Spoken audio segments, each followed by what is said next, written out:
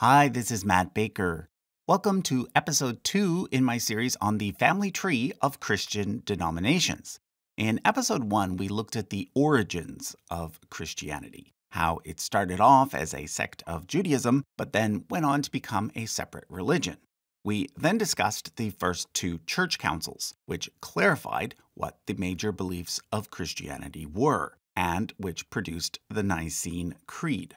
Finally, we looked at the next two councils, in which we started to get some smaller branches of Christianity splitting off from the rest, such as the Church of the East and the Oriental Orthodox churches. So, in today's video, we're going to switch gears and focus on two of the largest branches of the tree the Roman Catholic Church and the Eastern Orthodox Church. Both of these very large churches can actually be divided into various smaller churches. So we'll be looking at how each group is organized, as well as the history behind how they ended up that way. Of special note will be some very recent developments involving the church in Ukraine. But first, I want to point out that throughout this series, I'll be collaborating with the YouTube channel Ready to Harvest. As many of you already know, Ready to Harvest is all about Christian denominations, talking about their history and how they differ from one another. What I really appreciate about Ready to Harvest is that while its host, Joshua, belongs to one particular Christian denomination, he always approaches every topic from a very neutral point of view. So, for example, today, since I'm focusing on Catholic and Eastern Orthodox Christians, he too has released a very unbiased video about these same two groups. So, if you want to get some extra information on what I'm discussing today, I definitely recommend that you watch his video after this one.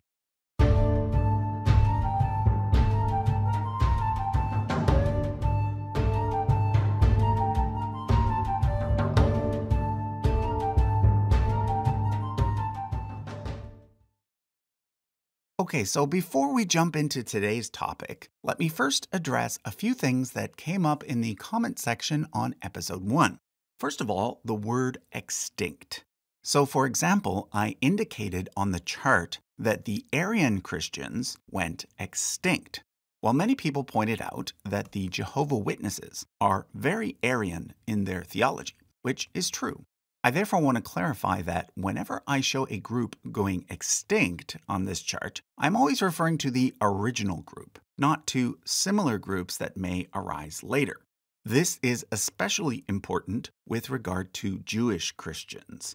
I got a lot of comments from people pointing out that Messianic Jews still exist.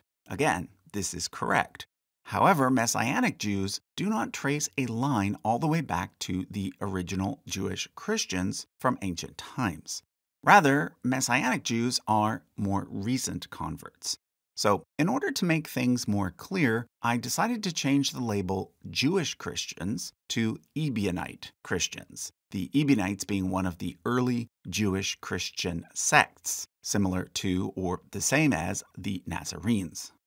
I also received several requests to include the Samaritans and the Karaites, so let's go ahead and add them to the chart.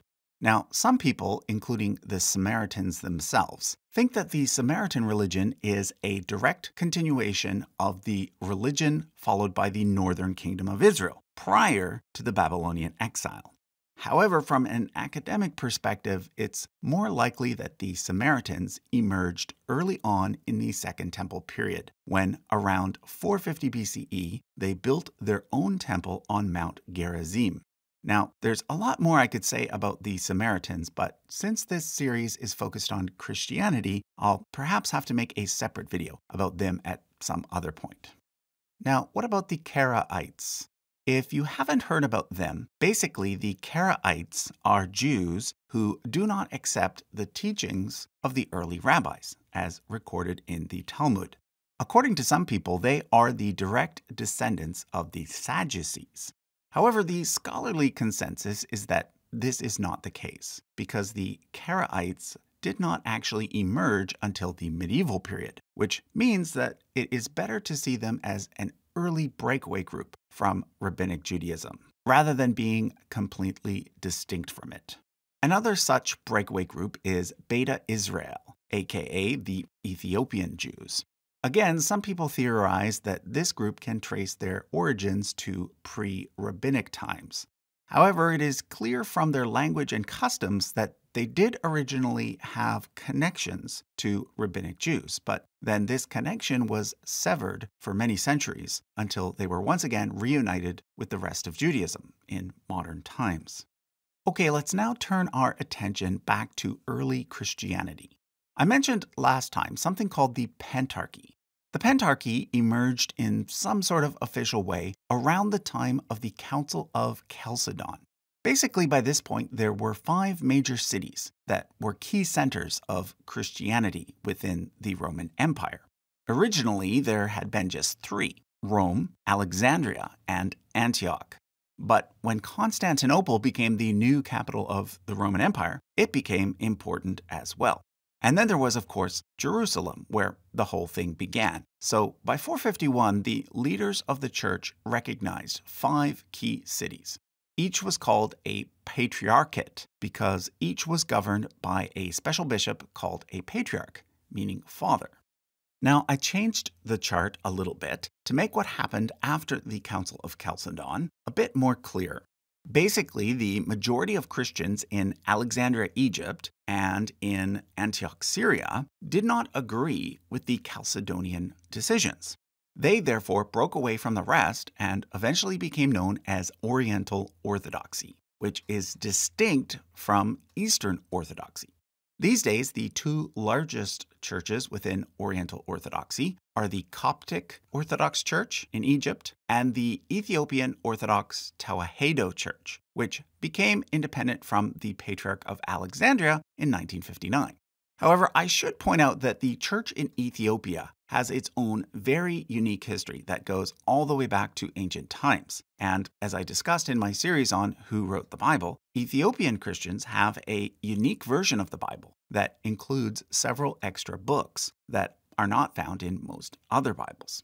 Also, since I mistakenly didn't show a photo of the Ethiopian patriarch last time, I wanted to show him this time. This is Patriarch Abune Matthias, the spiritual leader of around 40 million Ethiopian Christians. Okay, so let's now return to the Pentarchy. Although most of the Christians in Alexandria and Antioch became Oriental Orthodox, a minority did not. That's why I also show dotted lines that stay within the Eastern Orthodox section, which I've now decided to color red. The Christians in these areas that sided with Eastern Orthodoxy were originally known as Melkites, meaning imperial. That term will pop up again later, so I thought I'd point out its meaning now. But here's the thing in the 600s CE, Alexandria, Antioch, and Jerusalem came under the control of the new religion of Islam. Therefore, these cities became less important in terms of Christian leadership, leaving only Rome and Constantinople as the two main patriarchates. Therefore, a bit of a power struggle eventually developed between Rome and Constantinople. On one side, there was the fact that Rome, as the original seat of imperial power, had been given, back in the early days of the Pentarchy, a sort of precedence over the other four cities. However, on the other side, there was the fact that Constantinople was now the seat of imperial power, and it was the Greek emperor in Constantinople that now appointed the Latin pope over in Rome. As the centuries went by, Rome and Constantinople drifted further and further apart as Europe became divided between the Holy Roman Empire in the west and the Byzantine Empire in the east. This came to a head in 1054 with what's called the Great Schism. The Great Schism can be blamed on many different things, but I'd like to point out just two. One was a disagreement over whether or not Rome and its bishop, the Pope, was the head over the entire Christian church. According to Constantinople, the Pope was just a first among equals. In other words, he held a special place of honor, but in practical terms, he held no more power than the Patriarch of Constantinople. However, according to Rome, the Pope did have actual authority over the entire church. The other major difference related to the Nicene Creed, which I discussed in episode 1.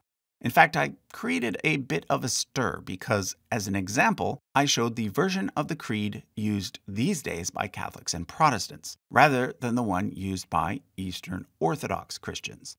The difference is this line here, known as the filioque, meaning and from the Son. So, as you can see, Catholics and Protestants say that the Holy Spirit proceeds from the Father and the Son, whereas the Eastern Orthodox Christians say that he proceeds from the Father only. Because of these differences and many others, East and West parted ways in 1054. Now, I should make it clear that it would be incorrect to say that the Roman Catholic Church and the Eastern Orthodox Church started only in 1054. Instead, it would be more accurate to say that they both started in the first century and that they were simply united up until 1054. So, what about the popes then? I mean, the ones from Peter up until Pope Leo IX in 1054. Well, the difference is that Catholics claim that those popes were the leaders of the entire Christian church, whereas in the view of the Eastern Orthodox Church, these popes were simply the bishops of Rome, who, as I mentioned earlier, were, in their minds, simply the first among equals. Okay, so let's now look at how each of these churches are organized today, starting with the Eastern Orthodox Church, which sees itself as a single church, but can actually be divided into 15 equal churches called autocephalous churches.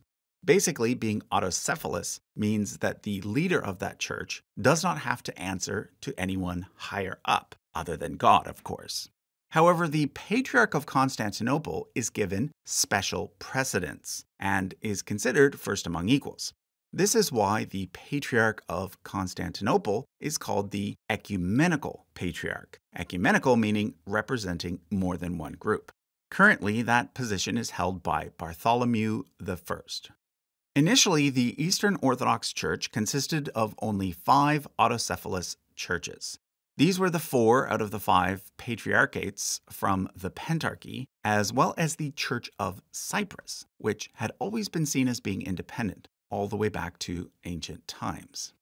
However, over time, more autocephalous churches were added by Constantinople, such as the Bulgarian Orthodox Church in 927, the Serbian Orthodox Church in 1219, and most importantly, the Russian Orthodox Church in 1589.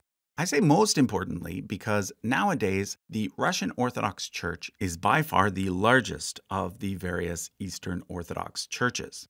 It is currently led by Kirill, who holds the title Patriarch of Moscow. The Church of Greece and the Romanian Orthodox Church were the next two Eastern Orthodox churches to become autocephalous in 1850 and 1885, which is after each became independent from the Ottoman Empire. The remaining five churches all became autocephalous in the 20th century, or in the case of the Macedonian Church, just last year in 2022. Which leaves two gray areas to discuss. The first being the Orthodox Church in America, which originated as a branch of the Russian Orthodox Church. The Patriarch of Moscow currently recognizes the American Church as being autocephalous, but the Patriarch of Constantinople does not. When it comes to Ukraine, we get the opposite situation. There, the Patriarch of Constantinople recognizes the Orthodox Church of Ukraine, but the Patriarch of Moscow does not. And it's even more complicated than that. And that's because the history of Russia and Ukraine is, well, a bit complicated. You see, both countries trace their origins back to a medieval state called Kievan Rus, which was centered on the city of Kiev. When Christianity first reached that area, the church there was known as the Ruthenian Orthodox Church. However, over time, Kievan Rus disintegrated, and instead the city of Moscow became the dominant city in the region. It was at this point that the Russian Orthodox Church was established, replacing the Ruthenian Orthodox Church. Eventually, all Eastern Orthodox Christians in Ukraine ended up under the jurisdiction of Moscow. However, after the fall of the Russian Empire, some churches in Ukraine declared independence and started calling themselves the Ukrainian Autocephalous Orthodox Church, or UAOC. This church operated separately from the UOC, which still came under the jurisdiction of Moscow. This is why later the letters MP were added to the name to make it clear that it is part of the Moscow Patriarchate. To complicate matters further, a third Ukrainian church emerged after the fall of the Soviet Union. This one called itself the UOC KP, the KP standing for Kiev Patriarchate. Now, obviously, having three different Eastern Orthodox churches in one country is not ideal. So, in 2018, there was an attempt to merge all three churches into a single church, which would become known as the Orthodox Church of Ukraine. The merger was mostly successful, and now around 80% of Eastern Orthodox Christians in Ukraine belong to the OCU. However, it wasn't entirely successful. For one thing, there are still some churches that are attached to Moscow, although since the Russian invasion of Ukraine in 2022, these are becoming less. And officially, the UOCMP has now cut ties with the Russian Orthodox Church. Secondly, there was also a disagreement between the newly appointed leader of the OCU, Epiphanius, and the former leader of the UOCKP, Filaret. This disagreement led to Filaret attempting to revive the UOCKP, although so far he's had only limited success. So basically, while there is still some disunity, the new OCU is now the main Eastern Orthodox Church in Ukraine. Now, before we move on, I do want to point out the growing rift between the Ecumenical Patriarch of Constantinople and the Patriarch of Moscow.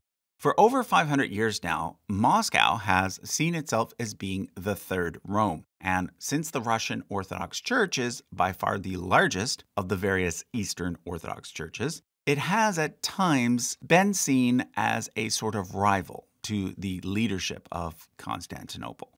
In fact, when the Ecumenical Patriarch recognized the new Orthodox Church of Ukraine, Moscow decided to break communion with Constantinople, which basically means that they're no longer on good speaking terms. This was made even worse when Patriarch Kirill came out as a strong supporter of the war on Ukraine, whereas Patriarch Bartholomew strongly opposed it. So it's yet to be seen whether or not the current schism will turn out to be a landscape changing permanent one. Okay, let's now talk about the Roman Catholic Church, by far the largest church in all of Christianity, with well over a billion members representing more than 50% of all Christians. Now, when most people refer to the Roman Catholic Church, what they're really referring to is the Latin Church, which is actually just one of 24 churches that make up the entire Roman Catholic Church.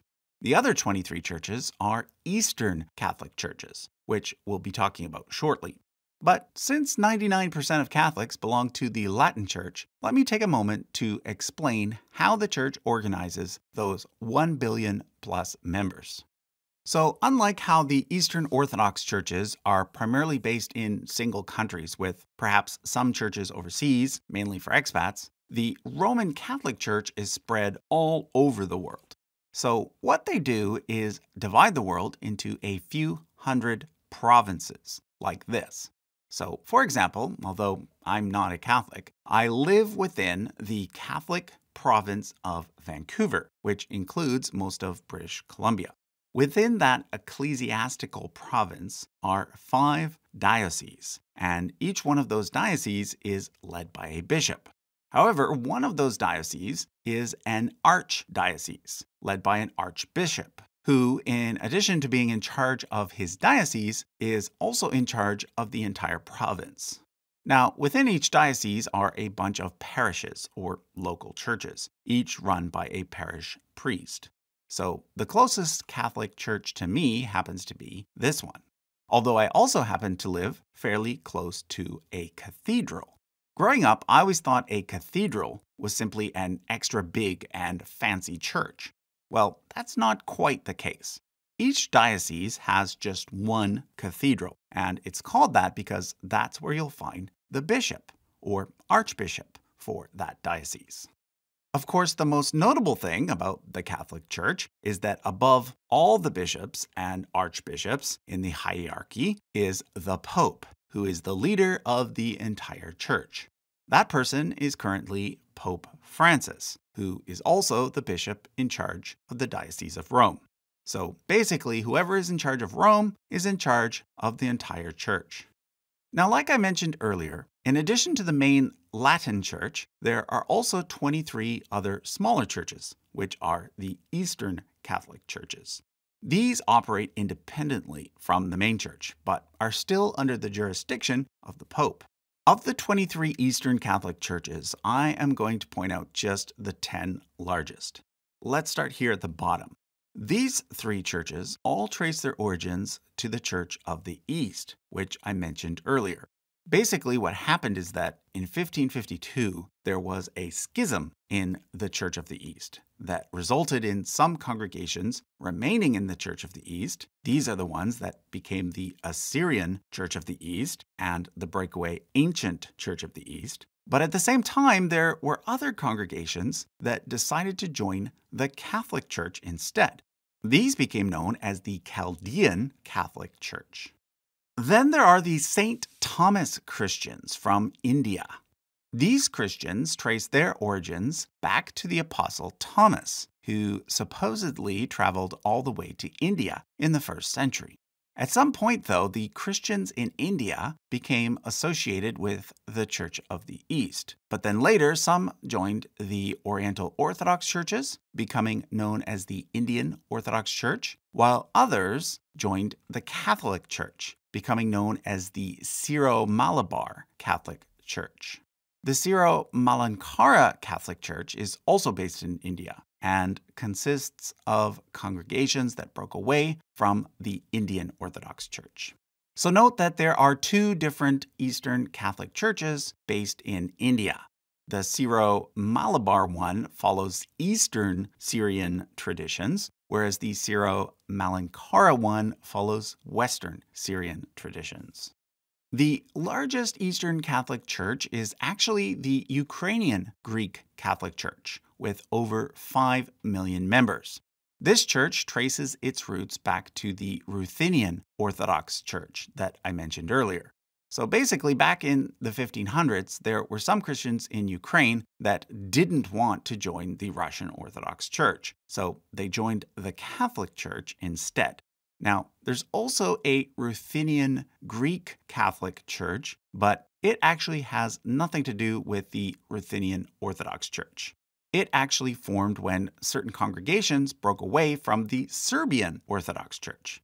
Then there's the Armenian Catholic Church, which, as you might have guessed, is based on those who broke away from the main Armenian Church, which is associated with Oriental Orthodoxy. That leaves us with the Coptic Catholic Church, which broke away from the Greek Orthodox Patriarchate in Alexandria, and these three, which all broke away from the Greek Orthodox Patriarchate of Antioch. Which means that when it comes to the original Pentarchy, we now have way more than five patriarchs for five cities. So, as I mentioned last time, there's an Oriental Orthodox Patriarch of Alexandria who uses the title of Pope, but there's also a Greek Orthodox one.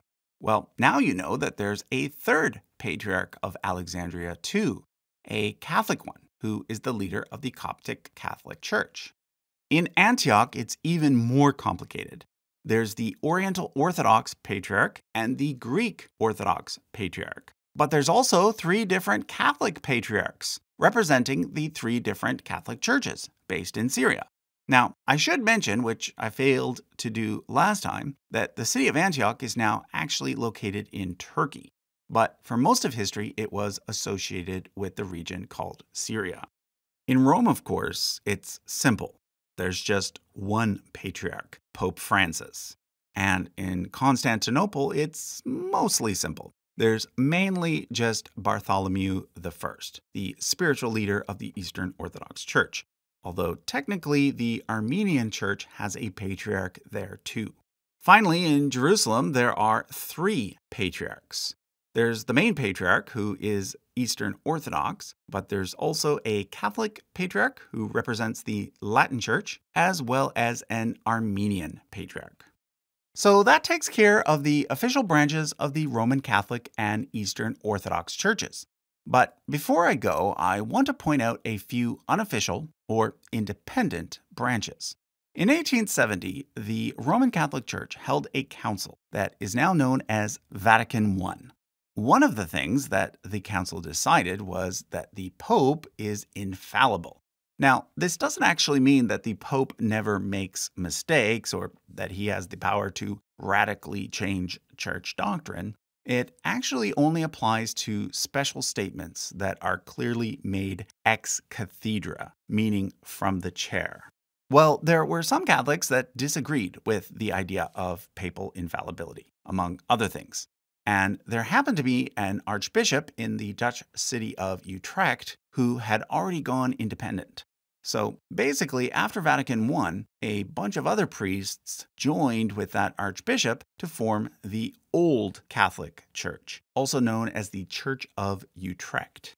Today, they are led by this man here. Something similar happened in the 1960s, following the council known as Vatican II. One of the main things to come out of that council was the decision to hold Mass in local languages instead of Latin. Again, there were some Catholics who disagreed with the various decisions made at the council. This time, those who separated and formed independent Catholic churches became known as sedevacantists, which is a word based on the Latin for empty chair. Basically, these Catholics believe that the office of Pope has been vacant ever since Vatican II. One of the main sedevacantist churches is the Congregation of Mary Immaculate Queen in Nebraska. The Eastern Orthodox Church also has independent branches. There, the separatists are known as Old Calendarists or True Orthodox. The main issue for them was the switch that the Eastern Orthodox Church made in the 1920s from using the old Julian calendar to the new Julian calendar. Today, most old calendarists are found in Romania and Greece. Okay, so that was a look at the Roman Catholic and Eastern Orthodox branches of Christianity. In the next episode, we'll be moving on to the Protestants and Restorationists. And this is where the tree starts to really go in a bunch of different directions. So you can expect that there will be several episodes on the Protestants and Restorationists before we're done. Episode 3 is likely to come out mid March. Until then, leave a comment with your thoughts. Thanks for watching.